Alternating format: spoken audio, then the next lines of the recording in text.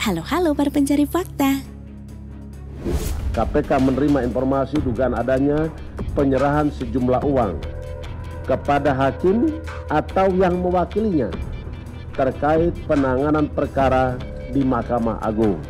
Benteng keadilan mulai jebol, bahkan telah roboh guys. Terkuaknya suap penyuap yang terjadi dalam lingkungan Mahkamah Agung memberikan tanda tanya besar.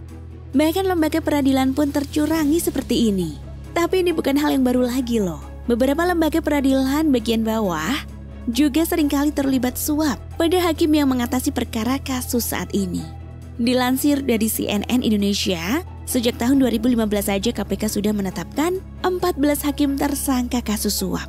Hingga saat ini terjeratnya kasus suap orang-orang yang berada dalam Mahkamah Agung, menambah daftar panjang hakim yang terjerat kasus. Sudah sekitar 21 hakim tercatat loh guys di KPK terbukti melakukan praktik lancung. Wow, nah di segmen kali ini kita akan menguak beberapa catatan hakim yang menerima suap. Kita kembali ke tahun 2010. Hakim yang pertama kali tersangkut kasus suap dan telah berada dalam daftar KPK. Hakim Pengadilan Tata Usaha Negara Jakarta Ibrahim yang pada saat menjadi ketua majelis yang menangani perkara banding gugatan sertifikat hak pakai tanah yang diajukan PT Sabar Ganda. Dalam proses penanganan perkara tersebut, ternyata ia menerima suap sebesar 300 juta rupiah dari PT Sabar Ganda.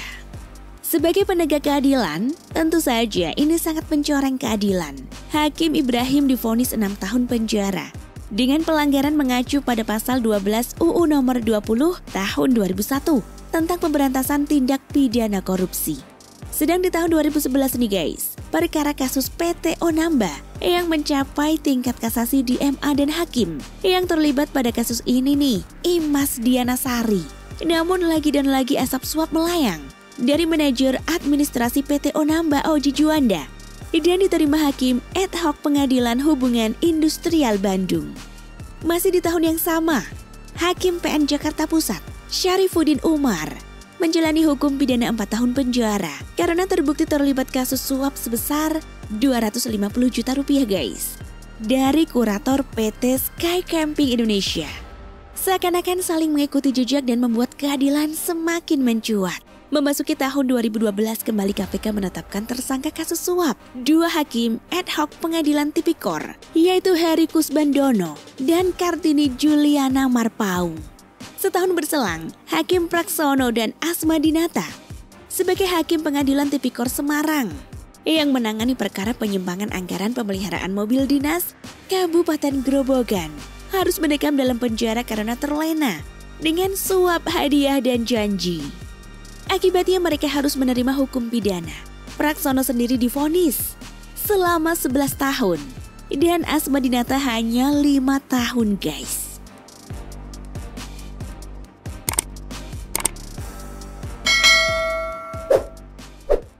Rentetan kecurangan dalam peradilan seakan telah menjadi hal biasa. Sekian kasus hakim yang disuap terus terkuak di tahun 2014 dapat dikatani merupakan tahun korupsi berjamaah para hakim yang sangat mencoreng wajah peradilan Indonesia.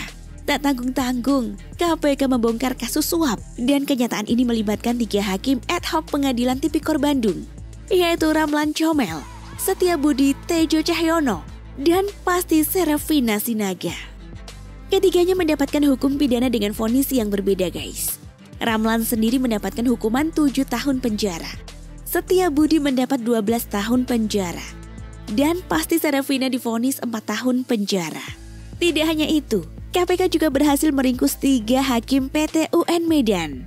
Suap yang terjadi pada ketiga hakim yaitu Tripeni Irianto Putro, Amir Fauzi, dan Darmawan Ginting berasal dari Gubernur Riau Gatot Pujo Nugroho dan istrinya Evi Susanti, advokat senior, Otto Cornelis Kaligis pada masa itu. Perkaranya sendiri tentang permohonan pengujian kewenangan ke Jati Sumatera Utara guys. Uang dan kekuasaan selalu menjadi tipu daya dan kekuatan. Hingga orang-orang kere kayak kita nih ya, hanya bisa menonton permainan mereka. Kalau terlibat sudah pasti kalah karena dompet kurang tebal guys. Dan kasus suap hakim paling terakhir sekaligus menjadi paling hangat yang memunculkan berbagai polemik. bahwa ternyata dari sekian banyaknya terjadi suap menyuap terhadap hakim nih guys. Pertama dalam sejarah Hakim Agung terjerat kasus suap.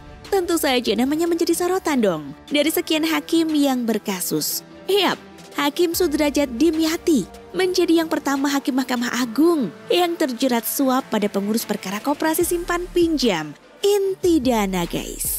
Rekam jejaknya sendiri memang dinilai bermasalah.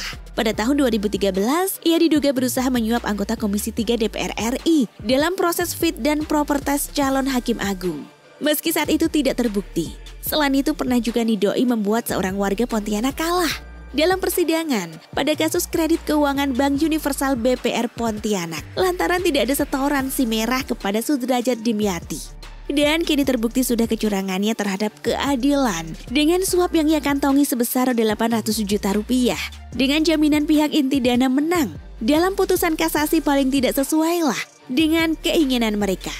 Aliran uang suap ini berasal dari dua pengacara inti dana, yaitu Yosep Parera dan Eko Suparno. Dan dalam operasi tangkap tangan yang dilakukan KPK ini, setidaknya terdapat 10 orang yang terlibat suap tersebut. Miris banget kan guys? Benteng keadilan benar-benar roboh. Keserakahan terhadap uang dan kekuasaan yang selalu diagungkan benar-benar memusnahkan kejujuran. Satu persatu orang-orang bersaing dalam kecurangan.